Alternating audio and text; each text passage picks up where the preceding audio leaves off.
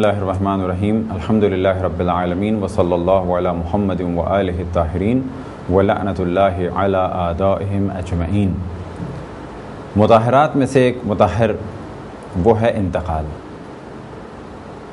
انتقال کے کیا معنی ہیں؟ انتقال کے معنی یہ ہیں کہ اگر کوئی ایسا خون کہ جو نجس ہو. مثال کے طور پہ انسان یا خون جہندہ رکھنے والے کسی جانور اور خون جہندہ یہ کیا معنی ہے؟ اس جانے پہلے بھی توجہ دلائی اور پھر توجہ دلا دیتے ہیں کہ ہر وہ جانور کہ اگر اسے ذبح کیا جائے اور اس کا خون اس کی شہرک سے ذبح کرتے وقت اچھل کے نکلے، تو ایسے جانور کو کہا جاتا ہے کہ یہ خون جہندہ ہے۔ بس اگر انسان یا کوئی بھی ایسا حیوان کہ جو خون جہندہ رکھتا ہو، اس کے بارے میں ہم نے توجہ دلائی کہ ان کا خون نجس ہے۔ اب اگر یہ نجس خون کسی ایسے حیوان میں منتقل ہو جائے کہ جس کا خون پاک مانا جاتا ہو۔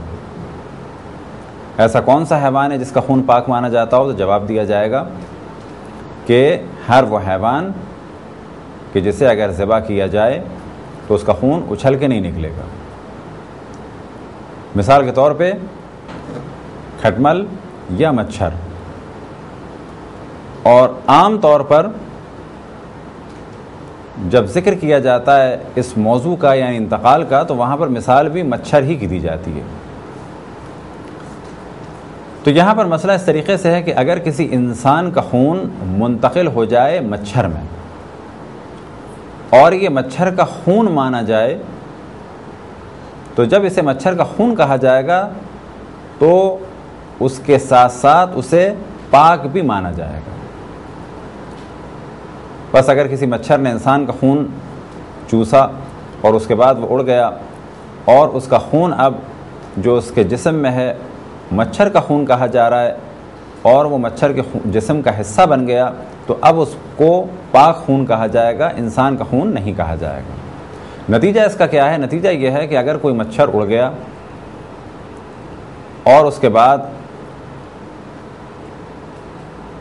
اسے ہم نے مارا اور اس کا خون ہمارے لباس پر ہے، تو کیا یہ خون پاک ہے یا نجس ہے؟ تو یہاں پر اس خون کے بارے میں کہا جائے گا کہ یہ خون ایک ایسے کیڑے کا ہے کہ جو خون جہندہ نہیں رکھتا، لہذا یہ خون پاک ہے۔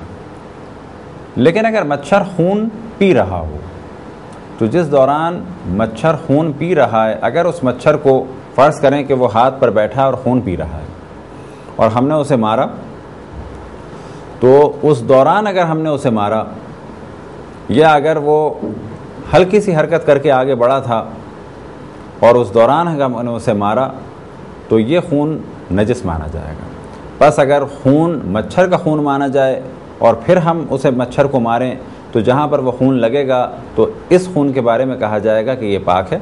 لیکن اگر مچھر خون پی رہا ہو، یا ایسی حالت میں ہو کہ جب اسے مچھر کا خون نہ کہا جائے اسی طریقے سے احتیاط کی جاتی ہے کہ اگر مچھر بہت زیادہ خون پی لے، لہٰذا بعض دفعہ مچھر اتنا خون پی لیتے ہیں کہ وہ پھر انسان کا خون ہی مانا جاتا ہے۔ مثال کے طور پہ اتنا خون پی لیں کہ اب وہ اڑ بھی نہ پا رہے ہوں۔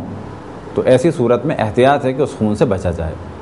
اسی طریقے سے مثال دی جاتی ہے جونک کی کہ جونک جب خون پیتی ہے تو عموماً یہی کہا جاتا ہے کہ یہ خون کس کا ہے؟ انسان کا خون ہے۔ تو جونک کے خون کے بارے میں بھی عموماً مراج و کا فتویٰ یہ ہے کہ اس سے احتیاط کرنی چاہیے، اس سے بچنا چاہیے، اسے نجس سمجھنا چاہیے۔ لیکن مچھر کے خون کے بارے میں اگر وہ مختصر سا ہے تو عموماً مراجے کا فتویٰ یہ ہے کہ مچھر کا خون، جب اسے مچھر کا خون کہا جائے تو اس وقت وہ پاک ہے۔ جو مسئلہ ہم نے بیان کیا مچھر کے بارے میں، بالکل یہی مسئلہ ہے جوں اور کھٹمل کے بارے میں۔ اب کسی خون کے بارے میں شک ہو کہ یہ ہمارا خون ہے یا مچھر کا خون ہے تو یہاں پر ایسے خون کے بارے میں سوال کیا جائے کہ یہ خون پاک مانا جائے یا نجس، تو کہا جائے گا یہ خون پاک ہے، کیونکہ یہاں پر دونوں احتمالات ہیں کہ یہ ہمارا خون ہے یا مچھر کا خون ہے۔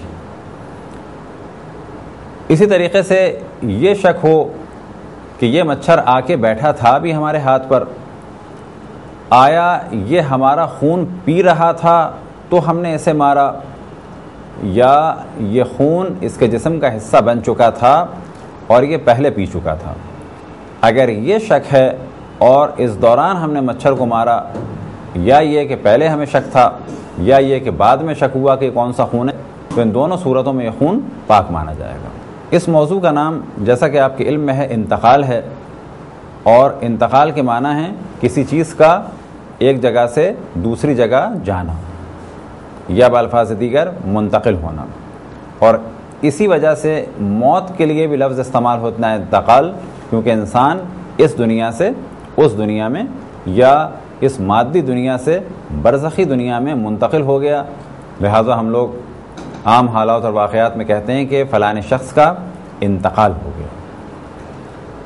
بس اس موضوع کا نام انتقال اس وجہ سے رکھا گیا ہے کہ یہ خون، جو انسان کا خون تھا، پہلے نجس تھا، جب یہ منتقل ہو گیا ایک ایسے حیوان میں کہ جس کا خون پاک مانا جاتا ہے، تو اس منتقل ہونے کی وجہ سے اس موضوع کا نام رکھ دیا گیا ہے انتقال، کہ جو متحرات میں سے ایک متحر ہے۔ خداون تبارک و تعالیٰ سے دعا ہے کہ بحق محمد وال محمد ہمیں اپنی، اپنے رسول، اپنی حجتوں، خصوصاً امام زمان علیہ السلام وسلم کی معرفت اور اطاعت کی توفیق عطا فرمائے۔ وصلی اللہ علیہ محمد و علیہ طاہرین